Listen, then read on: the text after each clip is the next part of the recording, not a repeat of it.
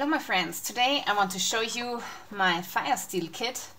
And I've made this pouch about I think seven years ago. And back then I didn't have any clue about leatherwork. So I just made this very simple pouch. And inside of the pouch I have my flint. And here I have a little bit of a tin can with char cloth going on.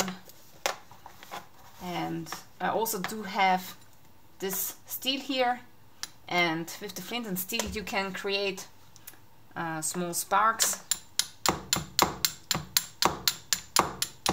and with these sparks you can ignite the char cloth and then you can ignite a fire. So this is a traditional fire making kit and today I want to work on the leather pouch itself because I want to make it a little bit nicer and you can see that I just have cut out some leather and sewed the pouch together which is nice but it's not epic. So the plan is today that I'm going to make a really nice pouch out of this one